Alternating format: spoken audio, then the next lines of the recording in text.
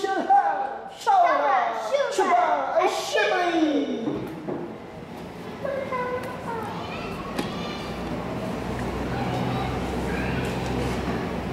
Hello everyone. Hello to you, my fellow humans. Hello to the trees, plants, and animals around us. Hello to the environment and the planet Earth that which we comfortably call home.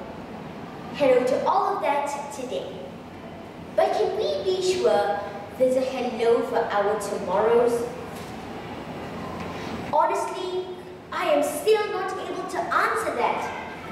I am just nine years old and I'm still discovering about the greenhouse effect, acid rain, polar ice melting, soil erosion, water pollution, and the list continues.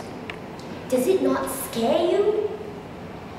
Just because you and I know what green is all about does not necessarily mean that we know the solutions.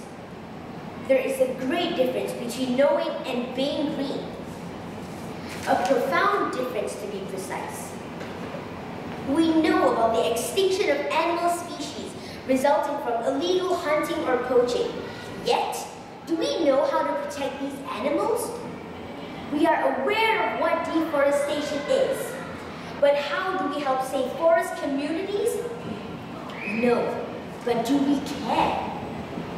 We enjoy the abundant fruits from this earth, yet destruction is what we give in return? If knowing isn't doing, then we have little time left to help do the right thing. We have been taking and taking, and finally, we have taken our environment for granted. To make a difference, it will start with me. To know green is not enough. I have to be green. And that goes to you too person by person.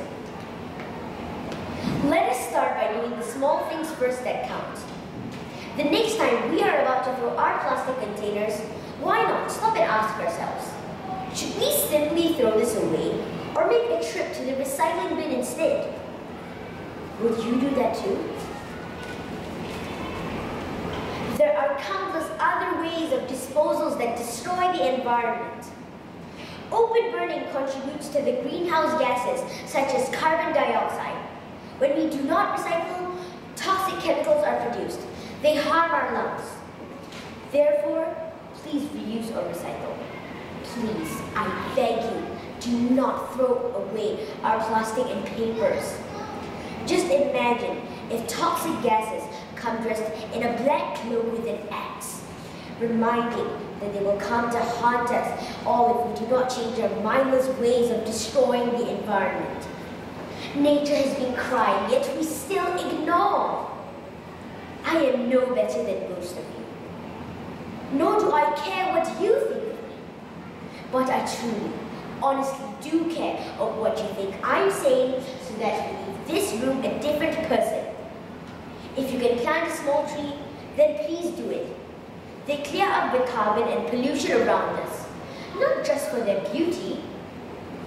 In fact, Singapore can go one step further about going green. Singapore is a vertical urban city. With lack of space for plantation, we can opt for rooftop gardens or green grassy walls for the hundreds of buildings around us.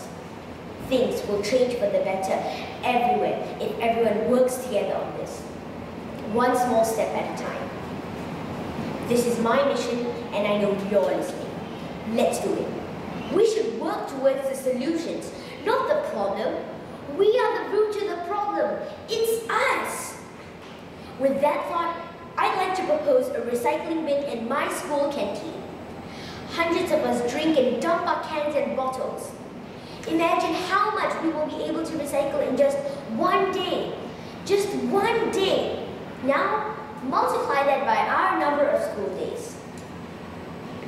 I started my speech today by wishing hello to the trees, animals, and all nature around us. I hope tomorrow it is not goodbye.